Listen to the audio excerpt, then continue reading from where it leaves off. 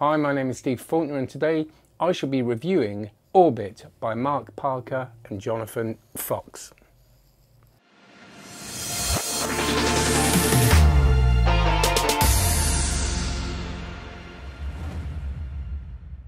Before we do this review, and it's a good one, this, this review is way more interesting than I thought it was going to be. Well, the review isn't, but the trick. Uh, but before we do this, can you like and subscribe if you want to do both of those things? Share it if you enjoy this, tell people about it, and come and see the live sessions on Thursdays at five o'clock where we'll be discussing all the comments and I'll be having different discussions. Like I talked about time management for magicians um, yesterday, so that's a different one and check out onlinemagic.co. That is my online magic resource course. That's me teaching you over 600 videos, loads of card stuff, a new course on coin magic, new course on rope magic going up, and it's ever increasing. It's just getting bigger and bigger, and I, I'm dedicating my life to it. So it's not something I dip in and out of. I'm available, and you will learn from a pro with onlinemagic.co. Right, um, let's get on with this. This is Orbit, and uh, I, I I love it because I didn't know what it was. It came in now. I was like, oh, what's this? Got very excited. Didn't look at the trailer. Opened it up. Still didn't know what it was. Saw the trailer. Went, ah, right, it's that. So what this is, this is a it's a it's a kind of modernization or, or a development of the Vernet um, or Vernet uh, depending on what way you want to go with that, Vernet, um, levitation gimmick. So when I first saw it, I kind of went, all right. it's because we all know the cup thing, right? If you don't, if you're a beginner or you're just getting into magic and stuff, that there's a you know finger in the back of a polystyrene cup, paper cup, and you go like that. And when every time you do it, I do it kind of as a joke with some people, but every time you do it, people go, and then they realise quite quickly. And I thought it looks a bit like that. The, uh, the response I got is strange, and even the response I got rewatching it this morning. It's kind of like one of those things when you know what it is, you go, uh, and, but every time I look at it, I forget how magical it looks. Now, watch that trailer, and that first beginning bit looks great, and then the more you watch it, you you kind of see that it that there's something odd going on. The movement isn't a naturalistic movement. So that was my problem with this originally. Uh, so I was playing with this and I was kind of thinking it's fun. It looks kind of cool, or does it? Because now I know what it is, I can't unsee it. And then I showed it to some people on the card course on the live session last night. And they were like, yes, this kind of looks like the, the fun thing. And But then I showed it to a couple of lay people and the response was just amazing. And I didn't try and do it in a hidden. I didn't. I was literally doing all this kind of stuff, and the response has been just brilliant. So, I know this phone means a lot to you, so I'm just gonna Something said to you last night. just gonna try. just gonna try and. Just, there you go. So first of all, what's the difference between the original and this one? So this one is, I would say, it's a lot more um, substantial. So it, you can do it with a, you can borrow a spectator's phone, which I know sounds very scary, and I did that earlier on. Right, you can do it with a wine glass with a silk in it. You know, it has to, you, can't see through it, or some liquid in it, um, depending on the kind of wine glass. You can do it with a deck of cards, and he's got this lovely thing with a rising card. So he does but then you notice the cards rising out.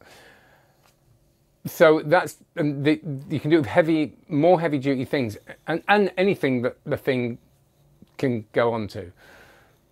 But this other thing is that you can you you can re revolve the hand completely. So he does this kind of you know he, he's doing all this stuff. So if you know it, you kind of go yeah, but how's that happen? But if you don't know it, and this is the thing, and you've got to understand that people, well, I've got to understand that people don't know it. Then all they're seeing is this thing floating and your hands moving around it. Now, in my mind, I'm a magician. I'm going, all they're seeing is the fact that you can't see my thumb, so they're going to know it's a thumb. Well, clearly not because of the responses I've been getting. He does say that this is a moment. It's not, you don't walk on stage and music goes up and you do five minutes of this like a zombie ball. I think zombie ball is very different. There's a kind of dance to it, isn't there? There's a theatre to it. This is a moment, but I think that that moment is, is I've completely changed my mind on it. Very cool indeed. It, it's not perfect, and I'm not saying it's the, the best thing ever, but I'm just really delighted at how wrong I was about this. And that's why I think this is an interesting one. I was, the more I saw it, the more ridiculous it seemed. And, and then I just thought, you know, there's lots of wiggly fingers going. Everything with wiggly fingers to me is a bit like this, you know.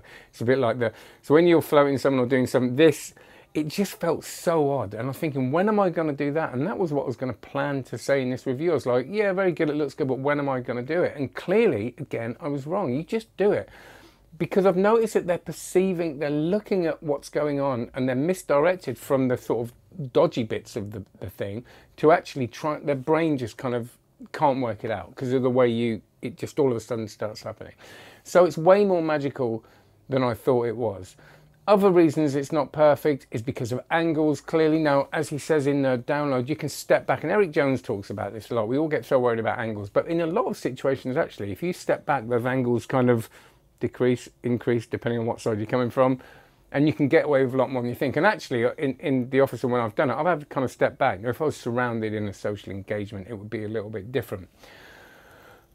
I, I, was worried about kind of how well it would work and if things were in danger. It seems to be pretty robust. Like, so with other people's phones, that seems to be really good. Getting the thing in and out of play, that was my other big thing. I was thinking, right, this is quite a chunky bit of kit. And obviously, in my mind, and again, I was so wrong, the heat is on the thing. The heat, when you're doing this, the heat is on your hands, right? And so they're going to be going, uh, well, all right, well, there's got to be something, so I'm going to keep an eye open here. Now, they would if you did it for too long, but what I found, and actually what he says, and I, I almost didn't believe him, I thought, no, surely, is that, that they respond and start laughing, because it is funny. It's something, this really weird thing.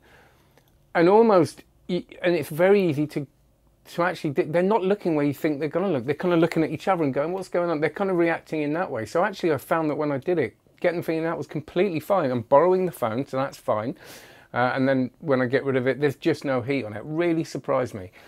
Um, and this is the way you get it in is also a belt clip. And it's really important actually because you can have this ready to go. And what he does is he brings it, he uses it to bring it into play and then just ditches it in a pocket to get out of it. And that's completely fine.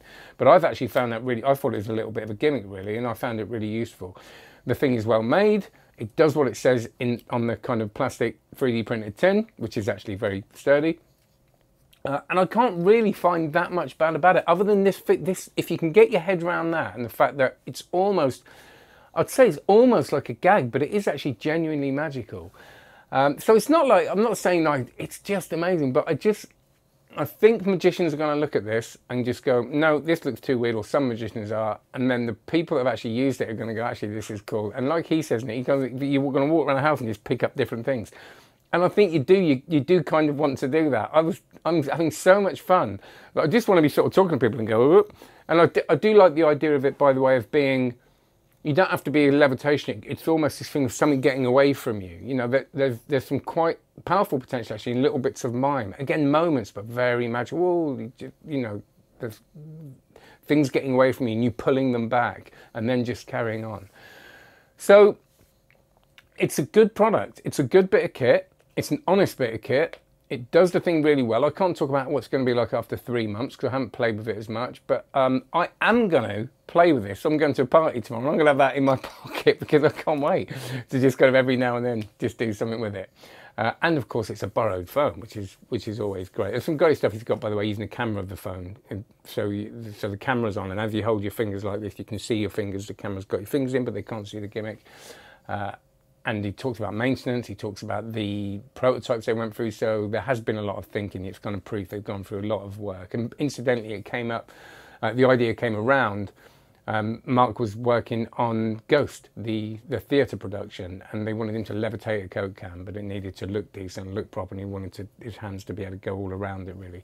Uh, and that's where it came from. So it came from kind of a real world situation, which I quite like. But uh, but a big surprise for me, a really cool little thing. Uh, that's Orbit, and please use the links below. Thanks, uh, Murphy's Magic, for sending that to me, and uh, and have a good one. And let me know your thoughts. I'd love to hear your thoughts, and it, I think it's a, it's an interesting discussion.